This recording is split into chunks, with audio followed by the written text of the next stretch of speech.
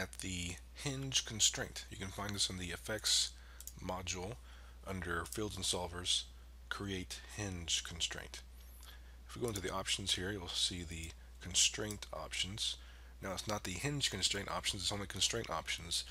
In the other constraint videos I've done so far, you'll remember that the constraint options are actually the options for all of the constraints you can change the type of constraint look right here with the constraint type option and right now it's the hinge. But if we click this pull down you'll see that you can actually change your constraint type to any of the other constraints such as nail and pin both of which we've already gone over. You can click those videos to check those out. So right now we're looking at hinge. Now the difference between hinge and the other constraint types if I choose nail for example you'll notice the initial orientation XYZ sliders are grayed out. If I go to pin, the interpenetrate checkbox turns on for pin where it was not on for nail. And if I go to hinge, you'll see I get both interpenetrate as well as the initial orientation sliders available. And also the initial position sliders as well. I'm going to go to edit, reset settings, and you'll notice when I reset the settings it changes the constraint type to nail. So I'm going to go back to hinge and now we get the settings for our hinge constraint. Down here you'll see spring attributes which are all, grayed out. That's because we're not using a spring constraint type. If I chose spring, all those spring attributes will become available. But we're using hinge for this video, so I'll go back to hinge, close the spring attributes, and leave it at that. Now we need to have an object that we're going to be applying the hinge constraint to. So we minimize this. I'll go to create, polygon objects, and let's use a cone something different. Have a cone in my scene, I'm going to hide the grid. So here's my cone shape. Go back to my hinge constraint options. With my cone selected, I have my default settings with uh, 000 initial orientation. Set initial position is turned off. Interpenetrate is also turned off. And we have our hinge. Up here we have constraint name, and this allows you to name the constraint before you create it. If you don't put anything in this box, it'll just choose a default name for the constraint after you've made it. So let's go ahead and just use all these default settings with no name, constraint name, you can fill it in if you'd like, it doesn't really matter. And with the, with the cone selected, hit create. So first nothing really obvious happens, but you'll see I'm selecting the ridge, rigid hinge constraint 1 and if I press 4 for wireframe you'll see I have this object within my cone looks like a line going through the cone and I can move this around like so and as I move it away from the cone you'll notice there's a line stretching from the cone to the hinge constraint indicator so I can move this around have this line attaching the cone to the constraint. The cone itself also has this little bitty X. If I select the cone, you'll see the X also highlights, indicating the X is a part of the cone and not the hinge constraint. And that's because when we applied the constraint to the cone, it converts the cone into a rigid body. Rigid bodies are objects within Maya that can have effects applied to them like gravity and other types of fields as well as having particles collide with them and so on and so forth. All these dynamic things can be interactive with rigid bodies and when we apply the hinge constraint to the cone it makes it into one of these rigid bodies that we can use. So that means that the cone can be affected by gravity. Right now we don't have any gravity in our scene but we can create some very easily. Let me select my cone, go to fields and solvers and choose gravity. The cone turns pink indicating that the gravity that I now select which is that right there, is affecting the cone. So with that all well and good, I need to actually play an animation for the cone to be affected by gravity and thus see the hinge constraint in action. So in order to do that, I need to go to display, UI elements, and I'm going to break this off and let's turn on the time slider and the range slider. So these are all of our animation playback controls through here. So at frame 1, I can hit play and we'll see what happens.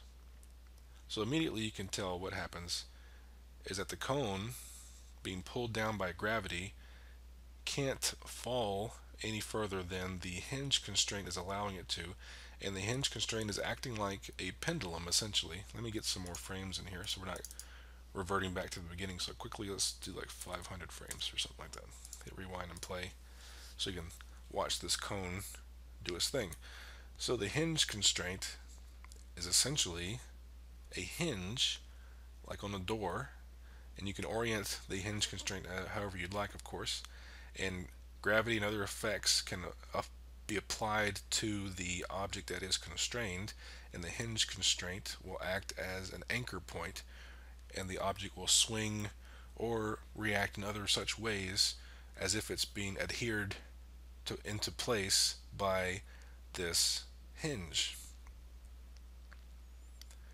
That's essentially the basics of how the hinge constraint works. So if you can imagine if you had a actual door shape, you could apply these hinge constraints to the side of the door where you would think the door would swing open and closed. And as it gets hit by dynamic forces such as a gust of wind or a character colliding through it or whatever, you can have that hinge constraint react in a way that the door would bust open or whatever in, uh, in a realistic fashion. So I'm going to go back to Fields and Solvers, create hinge constraint options. And so what did we have here? We had a couple different checkboxes here for a set initial position, which is the initial position of the hinge constraint itself. If you don't check this, you can then move the hinge constraint manually, which is what I did in this particular case, to position it. If you have set initial position turned on, you can change these sliders and apply the hinge constraint at a particular location if you already know where you want it. Let's say I delete this hinge, choose my cone, and with set initial position turned on, let's change this to a y value of say 5, hit enter, and x value of 5, hit enter. So I'm moving the hinge constraint up 5 units and over 5 units. And with the cone selected, hit create, you'll see now my hinge, my hinge constraint automatically becomes positioned over here which if you look in the channel box you'll see is that translate x5 and translate y5 so setting the initial position just kind of places the hinge constraint up here or if you want to you can just move it around yourself. I'll delete that. Go back to my cone fields and solvers create hinge constraint options. And then we have our initial orientation. By default it's at 000 we can change that here with the sliders.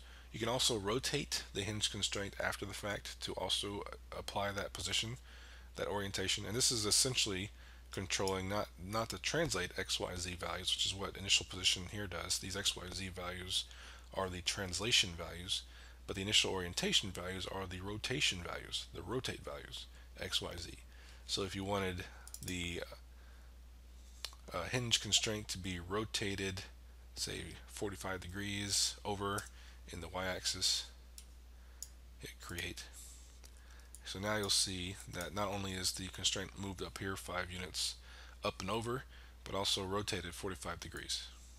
So when I hit play now, that hinge is oriented in this way and not left and right like it was before.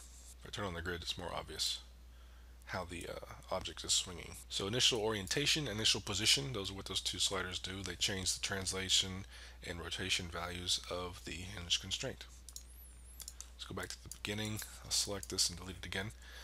If I have the object and go to Fields and Solvers, Hinge Constraint Options, the other one is Interpenetrate.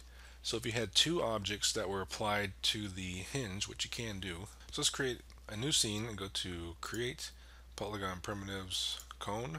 So I have my cone here. And I'm going to Control D to duplicate it, make another cone over here. I'm going to hide the grid for now. So I'm going to select both cones, go to Fields and Solvers, Create Hinge Constraint. You can see that I have this hinge constraint created between the two objects. And I can move it if I wished up here. And hit play. You know, nothing happens yet. But I'll select one of these objects, just one. And let's go to Fields and Solvers, Gravity. So now this object is being affected by gravity. And I'll place it over here above the other cone. And you'll notice that the uh, line was not connecting the cone until I started scrubbing through the animation. Then the line moved over here to connect with the cone like before. So with the cone that's being affected by gravity being above the other cone, they're both applied with this hinge constraint, hit play, and that happens, and they kind of collide together. If I select the hinge constraint and turn interpenetrate on, which I can do here in the channel box, hit 1, enter, which turns interpenetrate on, rewind and play, and you see now they pass right through each other. So in the hinge constraint options, that is what the interpenetrate checkbox does. It turns on that option to have the have the ob objects that are affected by the constraint pass through each other, or if you keep it unchecked, then it does not. So interpenetrate and the setting the initial positions or initial orientations are the only options here in the constraint options window for hinge constraint. So other than that, there is another option you can choose here in the constraint type in the channel box. If you choose this, you'll see that you can change it to a directional hinge. It might be getting cut off by the uh, recording space here, but you can also go into the attribute editor, choose the hinge, and here you have constraint type hinge and you can choose directional hinge here. And the only difference between the two is that the directional hinge will maintain its orientation. So you won't be affected by any other kind of effects that might flip the orientation around by other dynamic forces.